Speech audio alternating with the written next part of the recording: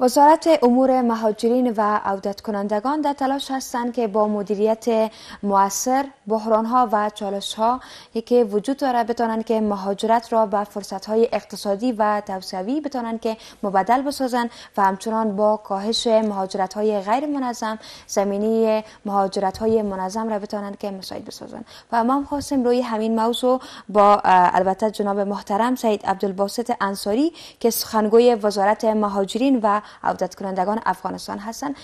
می‌خواهیم که در رابطه با برنامه هایشان و همچنان در رابطه با همی وزارت امور مهاجرین و عودت کنندگان صحبت هایی که لازم هست داشته باشیم. اما قبل از همه چیز سلام نصار شما جناب محترم و بسیار خوش آمدین. ببر سلام بر شما سلام به دستان در کاران برنامه و همچنان سلام به تمام ملت افغانستان. سپاس شما سلامت باشین. ببین که در آغاز در رابطه با فعالیت های اخیری که شما از طریق امی وزارت امور مهاجرین و عودت کنندگان داشتین پلان های اخیرتان برنامه هایی که در اخیر داشتین برای ما یادآور شوین که کدام برنامه ها رو شما داشتین؟ بسم الله الرحمن الرحیم. در رابطه به سوال شما باید بگوییم که چه در سالهای گذشته و چه در سفرهای اخیری که شخص وزیر مهاجرین داشتن به کشورهای مختلف علل خصوص به کشور ترکیه و یونان. هم تفاهم نامه های به امضا رسید و هم نشست های متعدد صورت گرفت. همه می‌دانیم که وزارت مهاجرین یک وزارت پالیسی ساز است و اخیرا تلاش ها بر این است که بتانیم وزارت مهاجرین به یک وزارت اجرایوی تبدیل بکنیم. بله. همکاری های مؤسساتی که در گذشته بوده و حال هم همکاری ها در قسمت عودت کننده ها هم صورت گرفته در قسمت بیجا شده هم کمک ها صورت گرفته. البته با همکاری مؤسسات و اداره مبارزه با حوادث و ادارات مختلف دیگه دولتی و خصوصی. ولی آنچه که مربوط به وزارت میشه وزارت پالیسی خود را داره و وزارت پالیسی ساز است. ولی تلاش ها بر این است. بازم تاکید می‌کنم که به یک وزارت اجرایی تبدیل شد تا بتونه اجراعات بهتری را انجام داده باشه و برای هموطنان ما چه در داخل افغانستان و چه در بیرون از افغانستان عرضی خدمت بکنم. بله. از طریق وزارت امور مهاجرین و عودت کنندگان شما تا فعلا چقدر توانستین که مهاجرت هایی که صورت می‌گیره بتونین که کاهش بدین مهاجرت های غیر منظم یا مهاجرت هایی که اصلا قانونی نیست صورت می‌گیره چقدر شما توانستین که این مهاجرت ها را کاهش بدین؟ خب عوامل مختلف داره مهاجرت. در قدم اول باید بدانیم که در افغانستان از چهار دهه گذشته تا الحال و هنوز متاسفانه ای روند ادامه داره امیدوار هستیم که ادامه پیدا نکنه و ما شاهد صلح در کشور خود باشیم بله.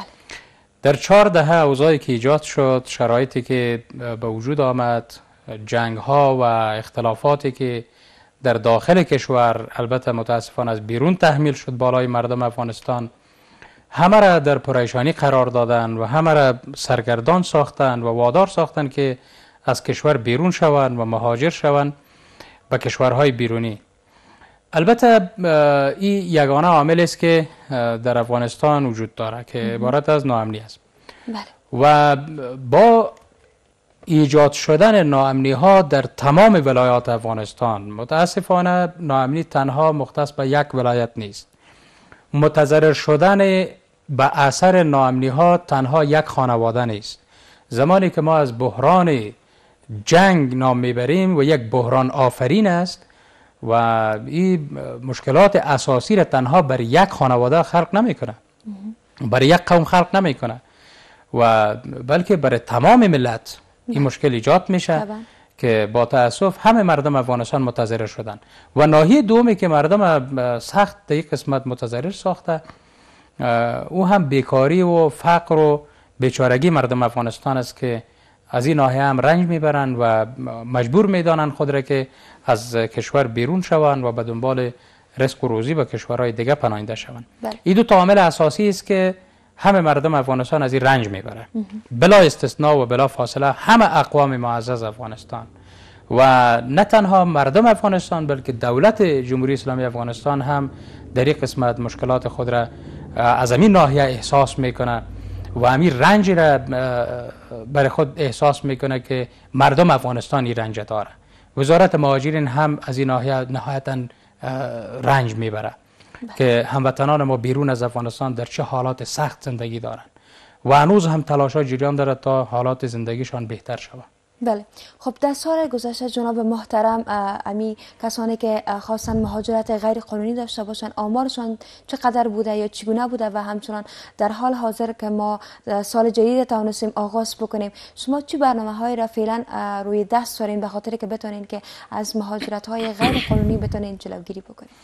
در قسمت سوال قسمت سوال اولتان باید عرض کنم که دقیقا این آمار در حال تغییر است هر روزی که میگذره آمار تغییر می‌خوره بله. و اگر از یک کشور آمار دقیق گزارش داده میشه به وزارت برعکس روز دیگه او باز هم قابل تغییر است. یک هفته بعد باز قابل تغییر است. یک ماه بعد کاملا تغییر می‌خوره.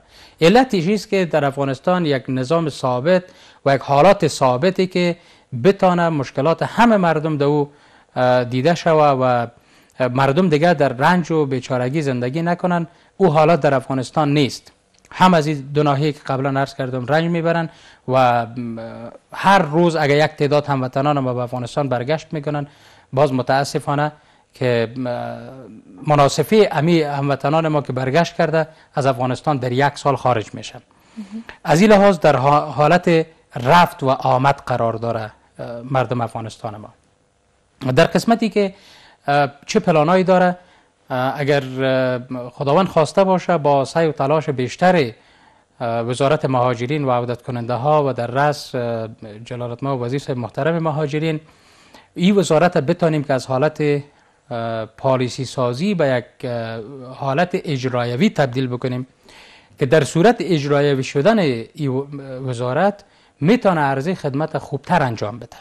ولی از یک ناحیه دیگه می‌خوایم که اشاره بکنم که بله. وزارت سخت رنج می‌بره از این ناحیه اوی از مؤسسات حاضر میشن برای کمک رسانی برای بیجا شده ها برای عودت کننده ها ولی متاسفانه بدون این که وزارت تحت جریان قرار بتن و وزارت در مدیریت خود حساب بکنن و برای وزارت مهاجرین کاملا صلاحیت تفیز بکنن که ما اینی مقدار پول نقد و اینی مقدار کمک های مختلف دیگی را اختصاص دادیم به خاطر بیجا شده یا به خاطر عودت کننده ها که متاسفانه وزارت در جیران قرار داده نمیشه البته با فیصدی بسیار اندک وزارت در جیران قرار میتن و اطلاع میتن اگر قبل از مصرف کردن پولشان و قبل از اینکه او پول هنگفتی که اختصاص داده میشه قبل از اینکه به مصرف برسه وزارت در جیران قرار بتن وزارت مدیریت سالم خود را داشته باشه. ما و شما می‌دانیم که در چوکات هر وزارت ریاست های مختلفی است در عرصه ها و در ابعاد مختلف فعالیت داره که وزارت مهاجرین هم در این راستا می‌تونه خوبتر مدیریت بکنه تا کمکان بیشتر به مستحقین توزیع شود و همچنین برای کسانی که عودت می‌کنه هم اونایی که مستحق است مستفید شوند از کمک که از جانب مؤسسات و کشورهای بیرونی صورت می‌گیره. بله. ولی با تاسف که خیلی ها خاطر خوش نداریم از این مؤسسات اما به طور کل کمک می‌کنن ما سپاسگزار هستیم از کمک هایشان در صورتی که تحت مدیریت وزارت این کمک ها را برسانن مشکلات مرفوع میشه. و مختصرا بازم اشاره می‌کنم به اینکه در صورتی که اوضاع در افغانستان بهبود پیدا بکنه و مردم افغانستان مطمئن شوند که دیگه در افغانستان جنگ و خشونت وجود نداره. پس برای عودت می‌کنن و وزارت هم در پلان خود داره که زمانی که اونا برگشت می‌کنن برشان زمین توضیح بکنه و ضروریات اولیه از اونا را برشان فراهم بسازه. چون همه مشکلات وزارت الحمدلله مرفوع شده و نهایتا مشکلات کمتر ما فرارای خود می‌بینیم. و انشاءالله بتونیم که در ابعاد اجتماعی خوبتر برشون فعالیت داشته باشه بله.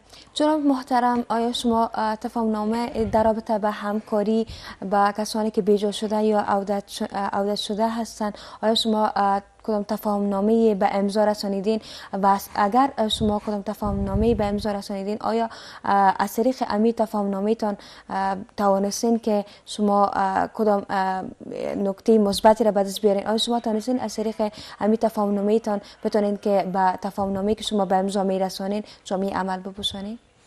خب تفاهم نامه ها هم در قسمت مهاجرین صورت گرفته هم در قسمت بیجا شده داخلی. اگر منظورتان بجا شدای داخلی باشه بله. و هر روزی که میگذره ما تفاهمات مختلف با مؤسسات داریم. بله. البته رد نمی کنیم که همه مؤسسات محترم در این قسمت کار می‌کنن. ریاست هایی که واحدهای اولی وزارت هستند باور کنین که شب و روز اونا زحمت می‌کشن و شب و روز کار می‌کنن. ریاست اطلاعات ارتباط عامه هر روز آگاهی میته برای هموطنان ما. ریاست تثبیت بیجا شده است که اونا فعالیت دارن. ریاست عودت از کار می‌کنن شب و روز کار می‌کنن. و در قسمت کارا و فعالیت های بیرونی وزارت آنچه که مربوط به مهاجرین میشه تفاهم های مختلف صورت گرفته. در 27 دلو 1397 که حال ما و شما در ماه اول 1398 قرار داریم بله.